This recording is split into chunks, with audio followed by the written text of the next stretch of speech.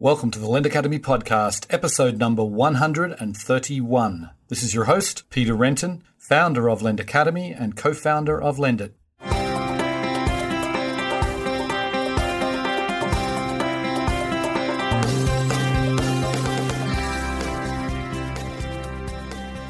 Today's episode is sponsored by Lendit USA 2018, the world's leading event in financial services innovation. It's going to be happening April 9th through 11th, 2018 at Moscone West in San Francisco.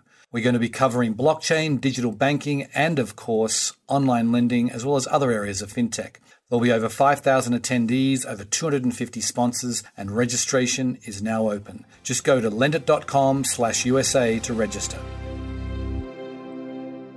Today on the show, I'm delighted to welcome Levi King. He is the CEO and co founder of NAV. Now, NAV's been around for a few years. They're an interesting company in the small business space. They're really a resource for small business owners when it comes to managing their finances. They provide all kinds of tools for that. They also provide access to credit through different lending partners, which we talk about. We also talk about the challenges when it comes to small business owners and, and having them become more, more financially literate. And Levi's got some very interesting thoughts there. You know, we talk about Amazon and PayPal and, and the impact that these behemoths are having on the small business space. And we also, he shares, he shares a fascinating story about how he was able to, to get nav.com as a URL. It was a fascinating interview. I hope you enjoy the show. Welcome to the podcast, Levi. Thanks. Glad to be here. Appreciate the invite.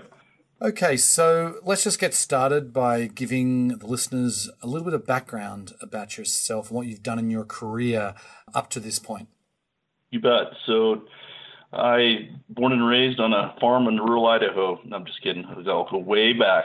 I was where I was born, but just kidding. So, I dropped out of college to start a manufacturing company. We manufactured electric signs, awnings, and neon. It's a very kind of old school type business did servicing work, installation work, and almost all of our customers were other small businesses.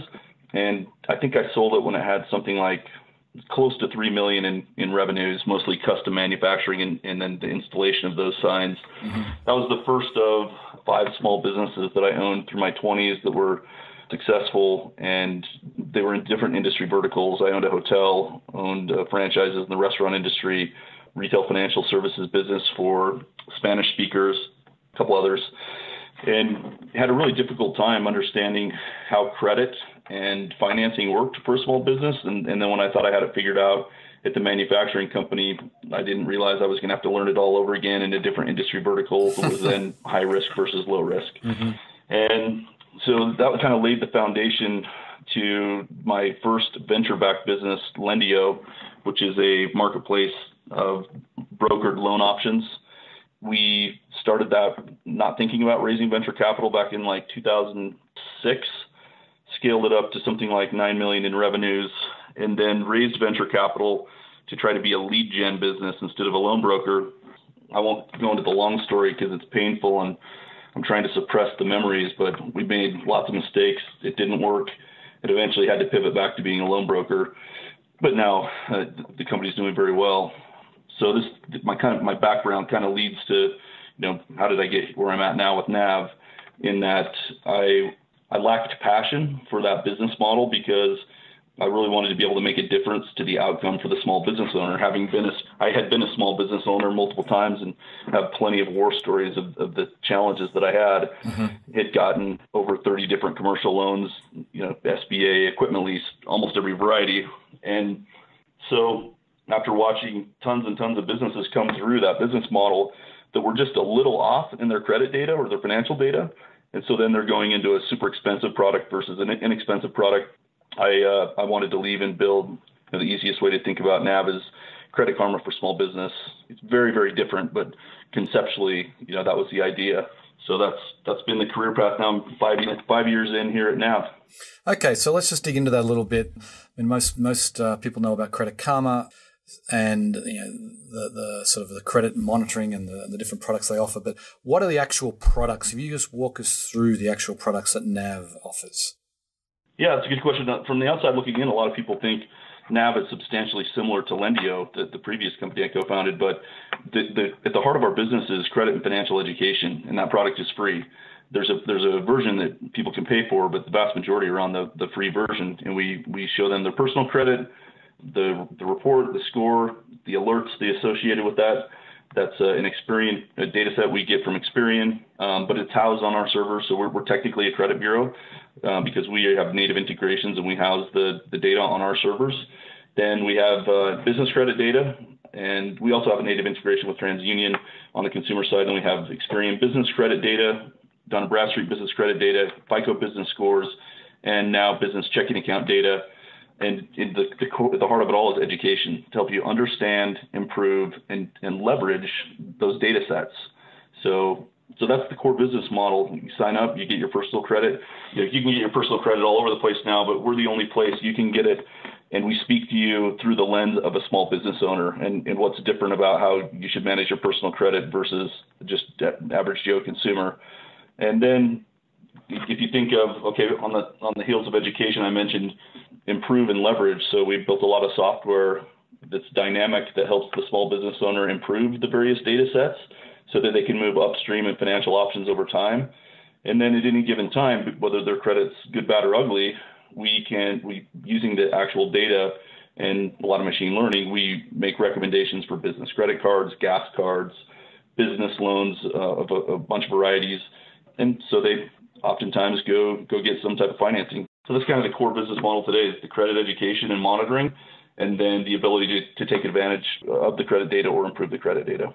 Right. And so the so the business model, obviously, you said everything's free. The education, and uh, you know, you've got a lot of articles uh, on your website, and and that that's obviously all free. So so as far as the revenue side of the business, and I see you've got you've got like paid credit monitoring. Uh, you've got a subscription business there, and you know, I imagine similar to you know to Credit Karma, you're referring people on and you get a revenue from you know from the credit card companies from the small business lenders i imagine. So can you just, is, is that how the, the business model works? Is there anything i'm missing? Uh, yeah that's pretty good. You're missing a couple things. So the first is we on any anything business credit related we typically win win the seo the, the organic search and so we have a lot of organic traffic to our public facing marketplace and so we have drive a lot of people just go get a business credit card and don't become a customer or mm-hmm. a business loan uh, so that's kind of independent to our, our logged in customer experience. So that's a revenue leg. You mentioned two of them, which is within the product, we'll make recommendations. We don't sell any data, we don't sell any leads. If the customer takes our advice and goes and gets approved and takes the financing, then we get paid. But that's not always true. There's lots of, like I mentioned, gas cards, we don't get paid anything. There's a lot of directions we'll point our customers where we don't get paid. We figure that that's our problem, not theirs, whether we're getting paid or not. We should be giving them the right recommendation, regardless of whether we've figured out how to make money or not. And then the other leg, and, and it's meaningful, is we carve up our, our entire user experience into pieces and deploy those into third party applications. And so uh, people get credit education or they go get a business credit card or a business loan and never see our name or know who we are. They they think that that's, for example, we have a, a marketplace we built for Experian, and so if you go to Experian's website, you go get a business credit card. It, it's really us powering that user experience. So so that's the other revenue leg is kind of a enterprise SaaS type business model. Right. Okay. Got it. Okay. So then I want to talk a little bit about the, the small business owner. And I've, I, like you, I've been a small business owner my, my entire career. My father was a small business owner. And I, I obviously I know a lot of people um, who run small businesses, and you know, there's varying levels of interest and education when it comes to finance. And you know, there might be someone who's a are really, you know, are really great at their craft, and they they run it. They have they either you know sell widgets or they or they're a, you know, they might be a great plumber or electrician or what have you, and they they have a small business.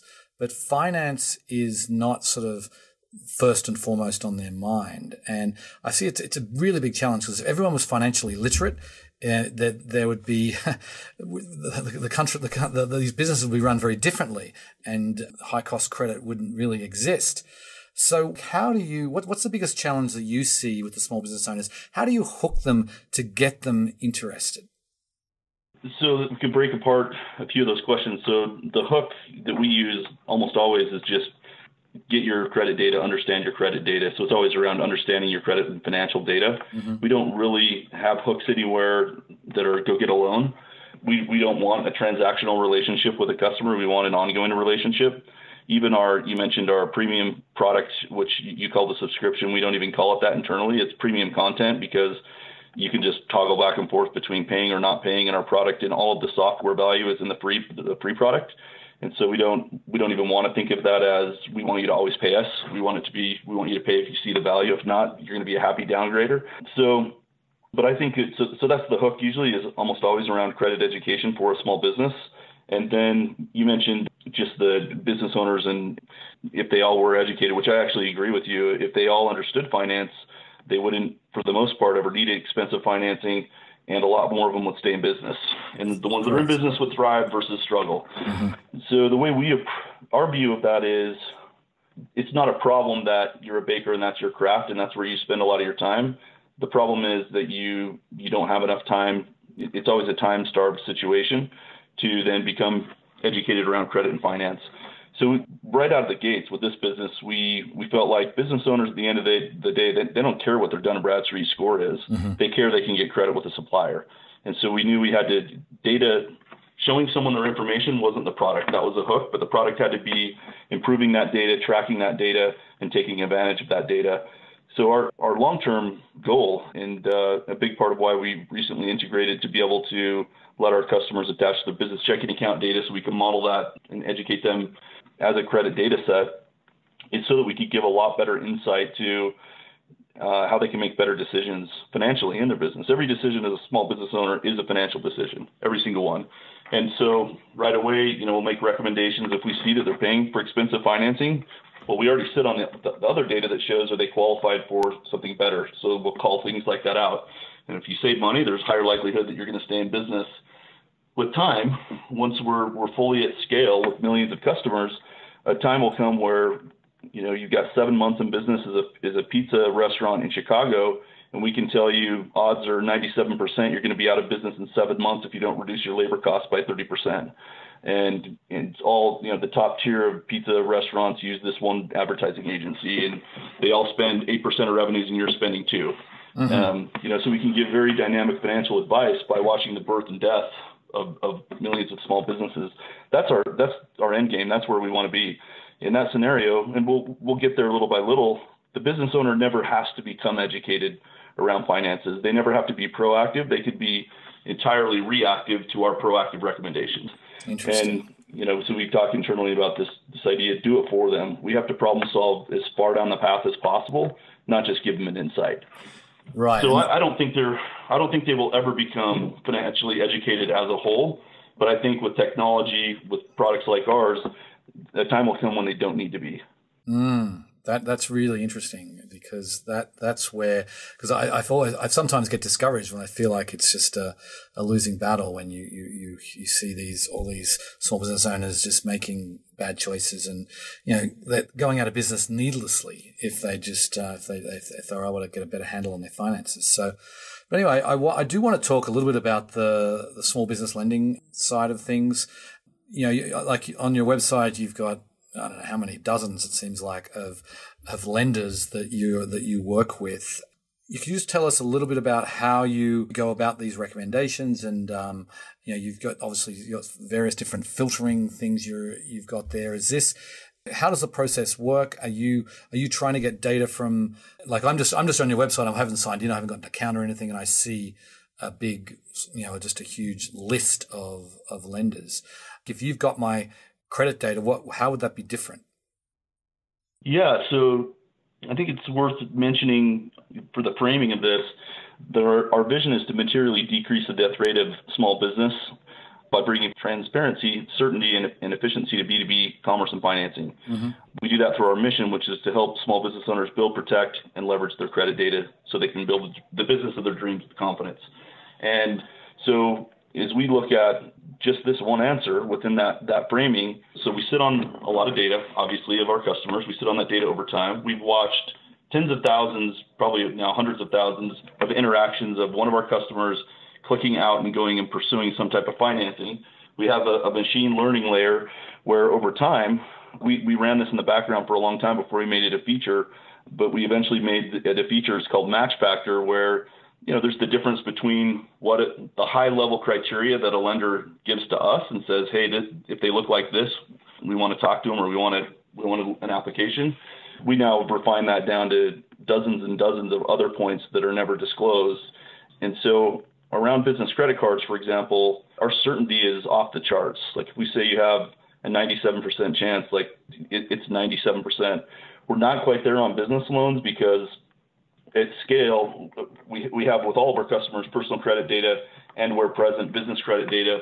We've just barely developed the capability to collect business checking account data.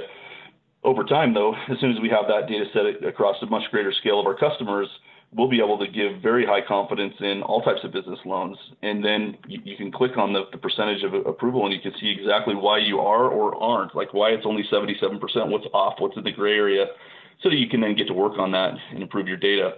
So, but it's, it's to bring that transparency to, you know, this product or that product, mm-hmm. why or why not, and what can I improve.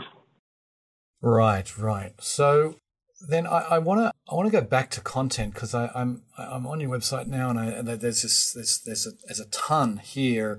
You know, you've got you know credit articles and you've got your uh, your own blog and you've got all these explanatory resources. So, what is your approach here? Are you what I'm trying to get at is who are you? Are you writing this for the person who is just a, a, like a, a, small business owner who's just stumbled across your site? Are you writing it for the people that you have a deep relationship with? Um, what what is your approach to to all the content that you, that you produce? Yeah, so there's a there's a few different teams that work on it, and so they each have a little bit different a little bit different mandate. But you know, it, starts with that with advocacy and education. So what's what is content that we can develop that will that will help our, our customers succeed, help them be educated. Sometimes that goes from credit and finance into other types of content, like how to have a successful meeting at your company and what are the things we've learned and where, where we failed. But ultimately, it always goes ties back to the same to the to the myth, the vision and mission. We want to decrease the death rate through through education and improvement. And so now that said, there's a lot of it that you know you're always trying to figure out a new or fresh way to address it. So, you know, there's a hurricane, then we put out content within that lens as it relates to if you're in the middle of a disaster or if it's the political season or whatever. So we, we do try to adapt the content to what's going on mm-hmm. in the U.S. as mm-hmm. well. Right, right. And so is this, I mean, is this sort of the, the major part of your, your marketing strategy as far as you talked about organic search as being a way that people find you? Is that, is that really the main way you're getting the word out, or are you doing other channels as well? No, we're doing a lot of other channels. The the organic grows fast all the time. It isn't just from content. A lot of that's through um, partners. We have lots of uh, CPAs. We do a webinar once a month where a CPA can get their continuing education credits by participating in the webinar. A lot of those folks sign up as a customer and then refer their customers to us that are small business owners. And most of that it shows up organically because there's no affiliate arrangement or anything like that. Almost there's almost never an affiliate relationship. We have S, SBDC centers all over the country that send send us lots and lots of customers. We have we do provide affiliate links to them, not because they want to get paid. We don't pay any of them, but be, so that we can report back how successful people they refer are in getting financing.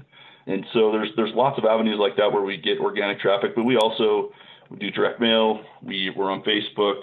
We don't do a ton on SEM, and then then there are a lot of partners that we do pay. So, uh, in, in other partners of other categories, there's some lenders that in their their turn down down funnel. So as they reject small businesses as a way to soften the blow to the small business owner, give them some closure and, and protect their own brand, they refer them to us for answers so that they can then get back to that lender in the future. So the, the, we have, I think it's over 800 partners now that send us traffic and we do pay them, and and then hundreds more that that we don't we don't pay. Mm-hmm. So it's it's a very complex uh, machine. It's not just content, but content's an important part. I right. think it's I can't remember the latest number. It's around 10% of all signups are, are directly related to content versus something like 25% overall or fully organic, but not necessarily just direct content. Right. Got it. Got it. Okay. So I want to ask you about um, the likes of you know, Amazon, PayPal, Square. These are big companies that have entered small business lending in a substantial way in, in recent years. And how do you feel about these? I mean, most of them are focused just on their existing client base and the serving serving the credit needs of you know, of their merchants. But how do you feel about these guys entering? You think do you think this is uh, this is good good for the industry? So, is it good for the industry? Is one question. Is it good for small business owners? Is the other. So I I think it's a resounding yes that it's good for small business owners. I think it can be tough on a lot of players in the industry but I think it's good for the industry. I think I believe, or I should say, I, we believe at this company that the future of the extension of credit to a consumer or small business over time will find itself happening where the data already exists or where the mm. customer is already engaged in a transaction versus the, this moment in time underwriting that you always see when someone needs a loan. You got to pull in all this information and then there's a decision. And so those are examples of I have a customer, I have a data set attached to that customer, and I created a an extension of credit opportunity that's fully seamless or nearly seamless where you're approved before you need the money. Obviously, the constraint is I can only see a certain type of data based on my business model, and that's constrained to people that are already my customer. I think that PayPal, I mean, I'm, I don't, I don't know why they made the decision, but they, in acquiring Swift Capital, my guess is they hit a ceiling in what they could do there. They probably also found a ton of demand from their customers for different types of loan products that, and different loan amounts that they couldn't offer unless they had a view into credit. Mm-hmm. And so my sense is their appetite is, is much larger. And so that then becomes a bigger threat to other folks in the industry if they now acquire customers through a, the extension of credit versus making that an add on and compete with different products. I wouldn't be a bit surprised if you see the same moves from Square and Amazon and I think it's a matter of time until you see that type of thing showing up where there's any large install base of small business customers. I mean, Intuit's another example you didn't mention, but yep. they've got their own loan product. It's on their own balance sheet. I, I wouldn't be surprised if Google gets there. I wouldn't be surprised if cell phone carriers get there. I think for a long time it's mostly accretive because we, we always think of I think I think sometimes we think of the industry a little bit to some zero and is when we see a new provider pop up. But when you have to click a button to take money, all of a sudden PayPal is competing for that loan, not just with OnDeck or someone else. They're competing with the savings account. They're competing with a credit card. They're competing with friends and family. Mm-hmm. They're competing with the 401k account. If all of a sudden it's that easy to take a loan, there are small business owners that will take the loan instead of tapping their personal savings account. And so I think it's very accretive overall and, and, and also brings, I feel like, validity to the entire space, independent space, that yes, that you can have a successful business model at lower rates on on alternative data sets. How does it impact us, and what what is the future for us and our business model? Mm-hmm. So we believe as we sit on personal credit, business credit, and then checking account data, and eventually other data sets, there are a whole slew of lenders now who can get to an approval or near approval based on on the data sets that we already have. So the one-click funding scenario that you see in isolation at a PayPal or a Square, where they do have the constraint of my existing customer against the data that I already have, we at scale we we believe will be the collection of the best of the best. So instead of having a dashboard where you see high approval odds for these ones, low approval for those, but you have to click out and go apply for it. Eventually, we were integrated with banks, with all alt lenders, and they're underwriting criteria lives and breathes in our systems, and we have a dashboard of approvals that you can click and take. And we'll be in market with that here before too long with the first lender, which we, so far as we know, will be the first example of you're approved before you apply, and that is happening outside of a captive ecosystem like a PayPal or Square. So we think in the future that's that's that's where we're headed. One click across lots of categories. Fascinating. Yeah, I, that, that does that. that I, I agree with you. That's sort of the, it's all about data, and if you've got enough data, you can pre-approve people and with a true pre-approval, and and just have them. It's, it's talk about there's just no friction on the small business owner side. That that will change. That's that's a game changer. I think. So I want to switch gears a little bit and just talk about your brand, Nav, and why NAV, what it means. And, you know, I know you started out life as Creditera and you rebranded a couple of years ago. So what was, what was behind the change and, and what does this brand really mean? Yeah, great question. So you think that on Business 7, or whatever number it is that I would be better at picking a good name that I could stick with. But when we hard. were pre-launch, there, there, was a lot of security and compliance requirements that we had to go through before we could obviously house consumer credit data on our servers. And we got hit this moment where they're like, you actually have to have a URL. We actually need to know where's this going to be, and we're like, crap. So we spent a few hours, I think, with a thousand dollar budget looking for domains, and we're like, oh, it's the era of credit, Creditera. That'll be cool. And so we we went ahead and got that, but it, there wasn't a lot of thought that went into it because it was for compliance purposes. We had to hurry and pick a name. You know, still that was months before we were publicly launched. Mm-hmm. And so pick the name. Well, you'd think I would be smarter than this, like I said, but I wasn't. So it, it was eventually a joke in the office, like credit tiara, credit, you know, credit, credit, all these weird pronunciations of the name. So no one could remember it, can spell it, which is not the type of brand you want to have. Right. And and, and in addition to all that, we kind of there's 60 something companies that have credit in their name, and mm-hmm. we feel like we we didn't want to get lost in that mess, and and then a lot of the things we've already talked about, bringing in checking account data, really helping a business owner navigate. So we don't use the word navigate anywhere; it's implicit, but we want to help them navigate the life of being a small business owner, start to finish. And so we didn't want when you, with credit in your name, you kind of get pigeonholed in someone's mind to oh, well, you just help with credit, where we wanted help in all these other ways. Mm-hmm. So we felt like it was a brand we could build around. And guess what? People can spell and say NAV pretty easily. and on top of all that, fun fact, we had a trademark on Creditera, and another company was suing or threatening the patent office, and it looked like we were going to lose. So we already knew we wanted to rebrand, but it was like, okay, we have to. And I, I know the company and the CEO you know, and I talked to him and he's like, look, man, there's no hard feelings, but we've raised a lot of money and like, we can't have you out there with that name. And I was like, okay, can you give me six months? And he was cool and co- cooperating. And so we, then we went out and looked high and low, looked at thousands and thousands of names and went eventually holed up on an Airbnb in Santa Monica, came down with a list of 10 names, talked to some advisors and didn't think nav would be possible. Nav.com, like a, one syllable domain, 20 plus years into the internet, you think it's not possible. And I contacted the lady who owned it, and she said, I'm not kidding you. The, the, this is total truth, what I'm about to say. She said, I'll just cut to the chase. My, my husband started a small business in, I think it was 1994, called Navigator Communications. He died a couple years ago I had to wind down the business. We've been hit up over the years by domain brokers and all these people to sell it.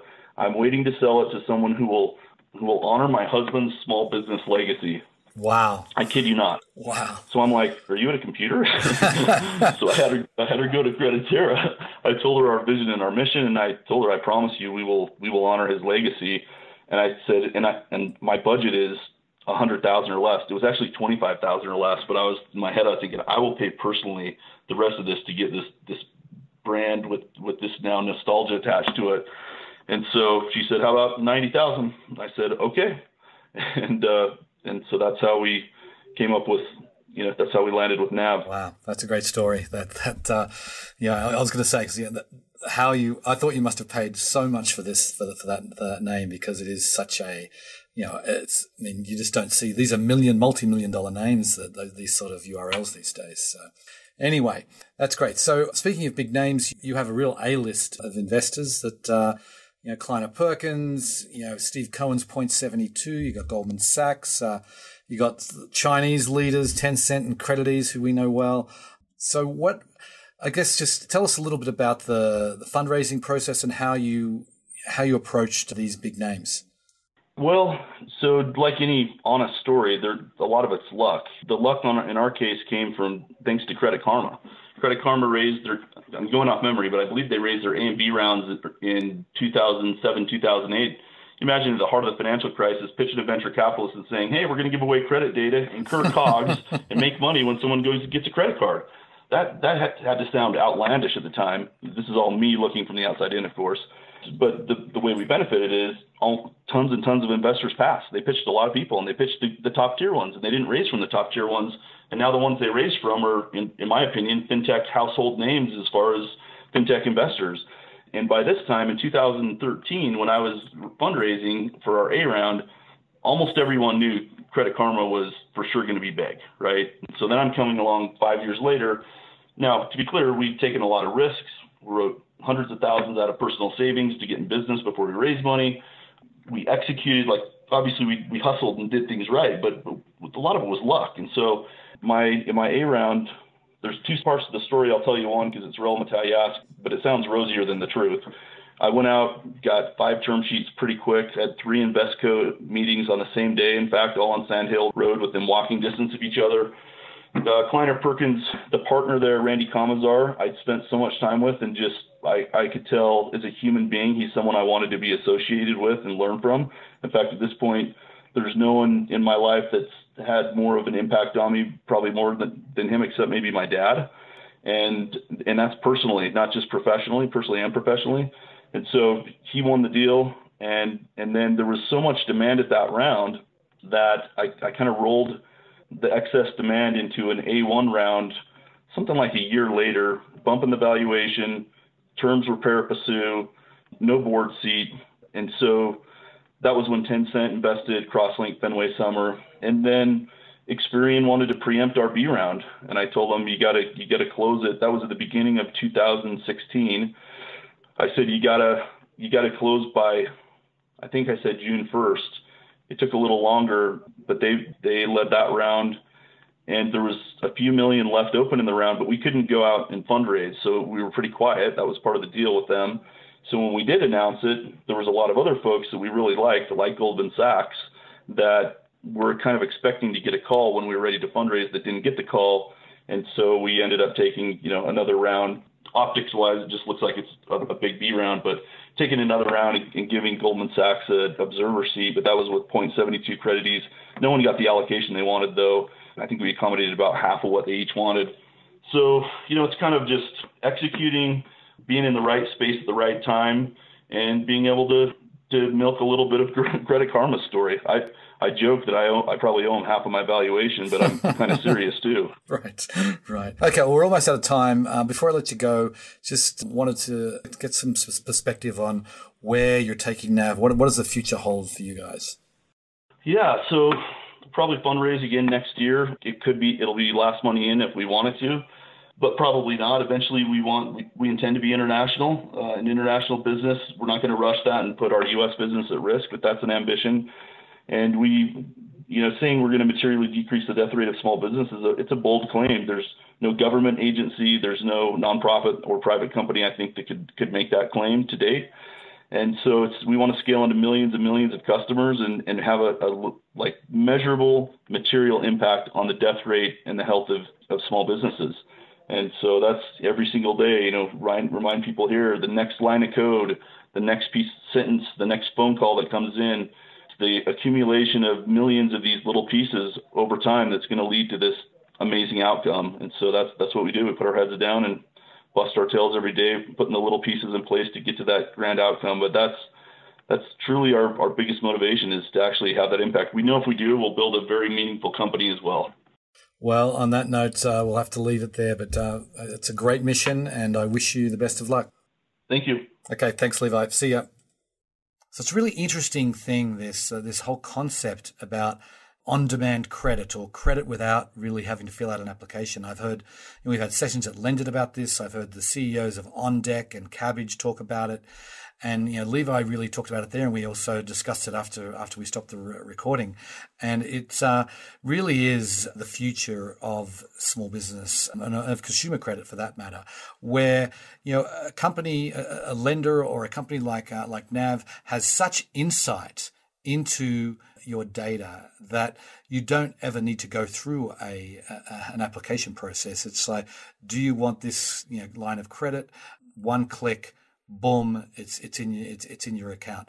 That we are not there yet. We still have a lot of work to go before we can get there. But uh, that's the future. I think it's exciting that you know we will have you know because the whole idea about I've I've always struggled with this with this concept that small business owners are not finance experts and they don't want to be finance experts. And, and as Levi points out, you know, they, they shouldn't have to be.